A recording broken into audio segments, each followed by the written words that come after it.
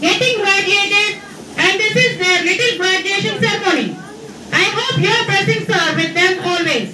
Not only with one child, with every child of Samrat Kindergarten.